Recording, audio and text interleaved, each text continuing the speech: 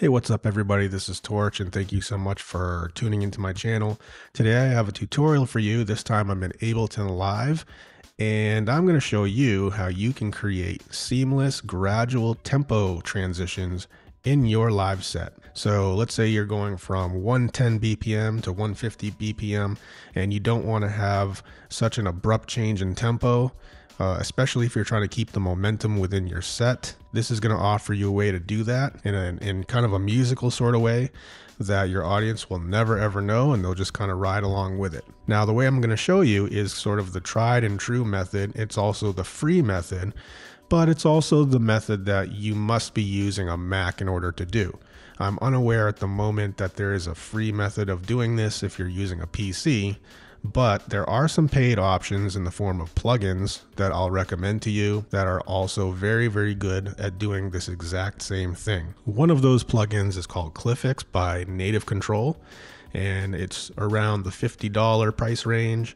The other one is a Max for Live plugin, and you can get that for around $14. And if you're interested in those options, I'll include two links below in the description and uh, you can go ahead and purchase those if that's the method you would like to use. But for today's tutorial, I'm going to show you the free way, and it's quite simple as you'll see. Oh, so you can see that I'm in Ableton here, but actually the first step we're going to want to do is we're going to actually come out of Ableton and we're going to go into our search on the upper right hand corner here on our Mac.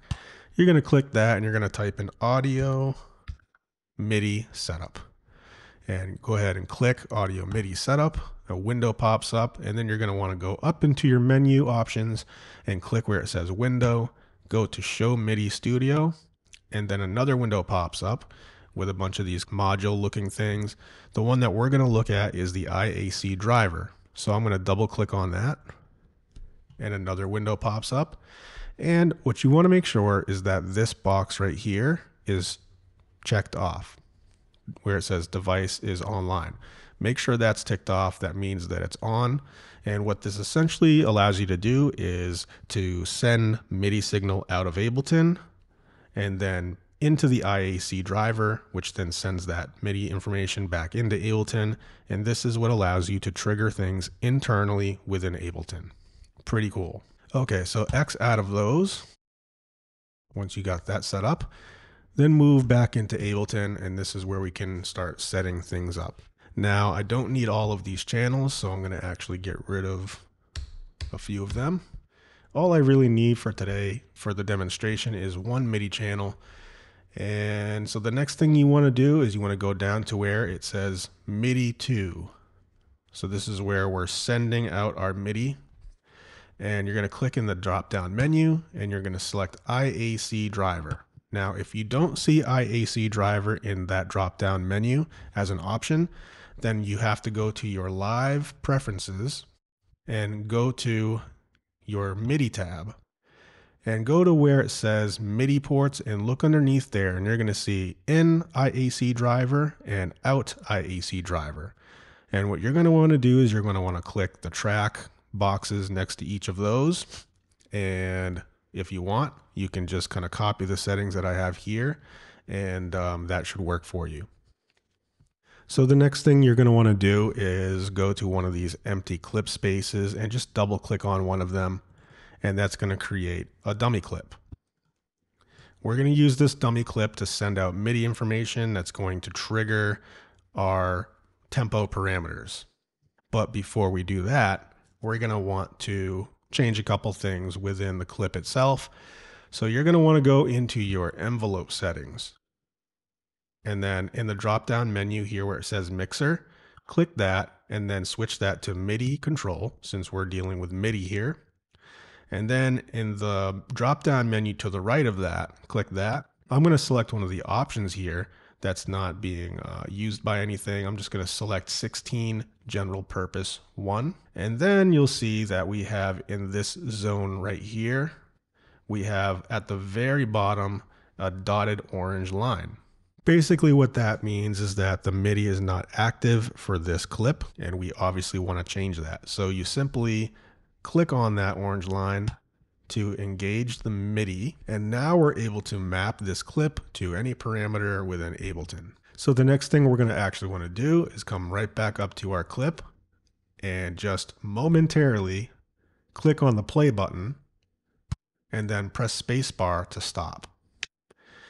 Now it's green lit, which means it's activated, and that's going to set it up for our next step, which is actually mapping this clip to our tempo settings. So let's go to our MIDI button up here to the upper right hand corner, and you're going to click that. And now we're in MIDI map mode, and you'll see that there's a bunch of purple zones, and all of those purple zones are mappable. So if I click on any one of these zones, I can press spacebar, and then that zone will now be mapped to my clip. But for today, I know that I want to map my tempo. So I'm going to go ahead and click on the tempo right here in the upper left. And I'm simply going to press my spacebar to start playing. And as you can see, the clip is now mapped to our tempo. The next thing we want to go to is our MIDI mapping parameters. And we can see under where it says name, we're mapping song tempo. So any of these parameters are dealing with our song tempo. So we have a minimum of 20 and we have a maximum of 999. That's a pretty wide range, if you ask me. And I don't know too many artists who are doing sets that have that sort of range. I would say a good range to work with might be, let's say, 90. I think 90 BPM would probably be around a slowish tempo, or maybe the slowest tempo you might play in a set. And then, as far as how fast we're going to play, I would say that 200 is probably the fastest you'll play unless you're doing, you know, some breakneck speeds, you know, playing like IDM or something. Okay, so once that's set up, we're good to go. We can go right back into um, regular mode here. And um, if we go ahead and just press spacebar to play everything, you'll see that this tempo is going to shoot down to 90. That's because we've set our minimum to 90. But let's say that we want to create a set, and let's say our first song is at 110. I'm going to type in 110 in our global settings here. And I'm just going to go ahead and play this. Obviously, there's no music, but there's click track.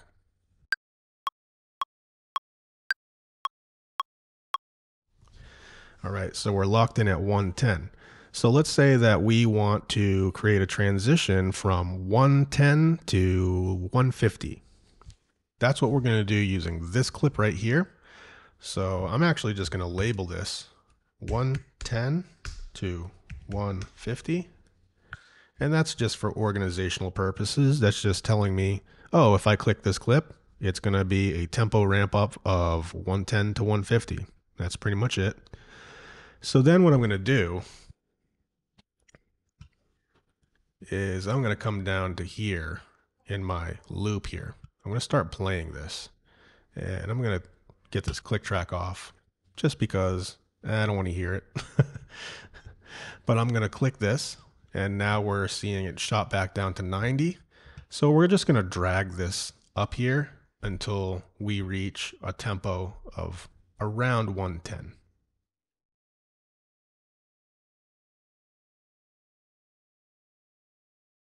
Okay. So as you can see, we're not directly at 110. It's at 110.79. Now that's maybe the only drawback of using this method is that it's very hard to lock in at a specific tempo or an even tempo. Um, but you'll see in a minute that it's not going to matter all that much. Um, but for now, we're in the ballpark, and that's really all we need to do. So this is setting us up for the minimum tempo for this ramp up.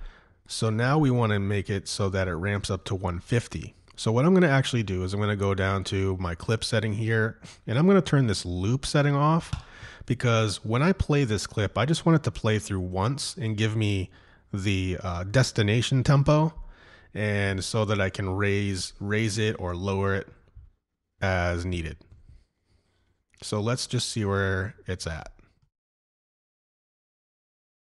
So because we didn't change anything, it's saying at 110. So what I'm going to do is I'm going to come down to my clip and I'm going to go over here to the right hand side. You'll see that it says a number 24.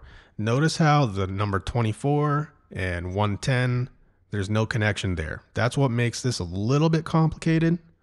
But once you kind of understand how to do this, it's not that difficult at all. So I'm just going to click and I'm just going to raise this. Maybe I'll go up to around 45 or something. I don't know what this is going to land on, but I'm going to press play on my clip and it's going to tell me. So we landed at 128.98. We're trying to get to 150, so let's raise it up even more. Let's try 55. All right, play the clip, see where that lands. All right, we're at 137.64. Still got a little ways to go, so let's raise that up even more. Let's go to about 65.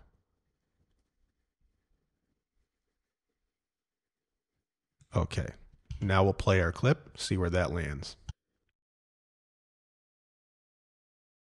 Okay, getting closer, but not quite there. So keep raising it. I'll go to 70. Play the clip, see where that lands. Okay. So not exactly 150. We're at 150.63. But as I mentioned, it's going to be very, very hard to get it so that it's exactly 150. But you'll see in a minute that that's not going to matter all that much. Okay, so let's just kind of like bring this down a bit so we can see a little better what's going on here. The next thing I'm going to do is I'm going to come over to my master and I'm actually going to go to the left, the very left hand side of that master channel, click, and I'm going to drag this out. And you can see what that now does is it shows us that we have our tempo parameters and we have our meter parameters there too. Um, so what I'm going to do here is in scene one, I know that I have a song here and we're going to say that's at 110 BPM. So I'm going to click enter and lock that in at 110. And then we have our transition here on this scene. So I'm just going to name this transition so that we can just see that right away. And by the end of this transition, we're at 150 BPM, right? So then I'm going to lock that tempo in by the next scene. I'm just going to go ahead and click on that section and I'm going to type in 150. Enter. So you can see that the transition is going to bring you from 110 to 150 roughly because we have decimal points. But you also have these kind of bookends 110 starting and then 150 starting. The thing is, those decimal points in terms of the tempo and how it feels are going to be barely noticeable. Barely noticeable.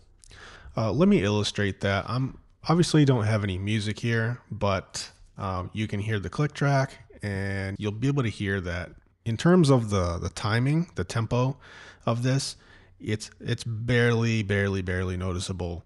Um, here it is. So I'm going to start at 110.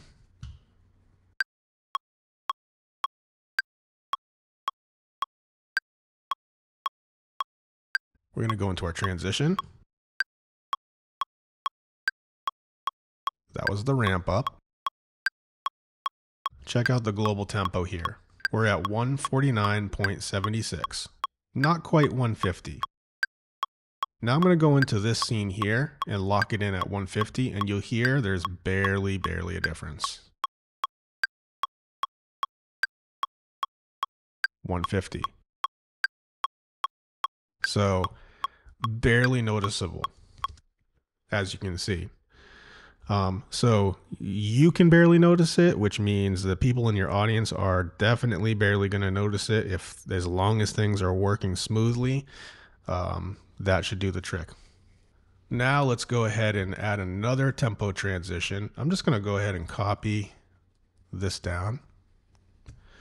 And um, I just did option and drag and that automatically copies the clip. I'm going to go ahead also and just rename this transition so that way we can tell. And I'm just going to do kind of the, the polar opposite here. Instead of going 110 to 150, I'm going to go 150 to 110. So I'm going to go into my clip and let's raise this up so we can see. Now we know that 150 or thereabouts is at 70 and 110 thereabouts is at 24. So now I'm going to make the beginning of this at around 70 So 70 is going to be around 150. And then at the end here, I'm going to ch change that down to 24. So now we'll go from around 150 to around 110. Okay. So now let's go ahead and play this. It's at 150 right now, so. Okay. And then I'm going to launch this transition and we should go from 150 smoothly down to 110. Here we go.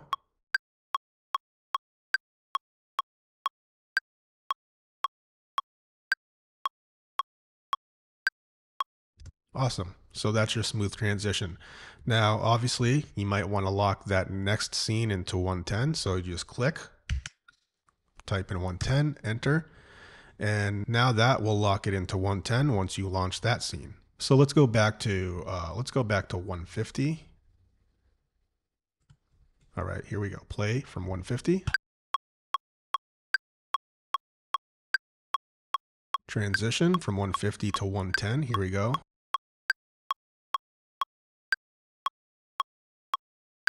Okay, and then to lock it in at 110.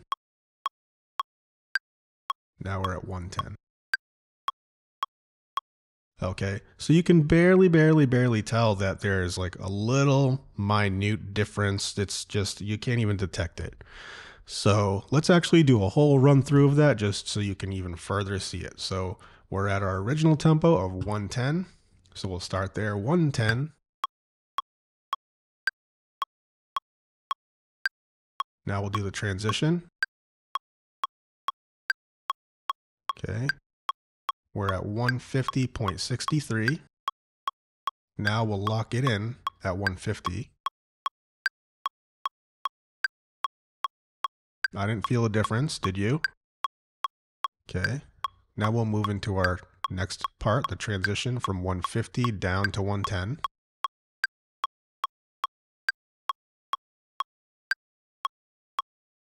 Okay. Now we're at 110.79 but we want to lock it into to an even BPM. Now we're at 110 even. So that's pretty much it. That's all you have to do. And you, you can do this with any BPM within the range that you have it set to. And it's pretty easy. And this is the free tried and true method that I've used for several years now. So I hope that tutorial was helpful for you. Please let me know if it was and um, I'll catch you in the next tutorial. This is Torch signing off. Peace.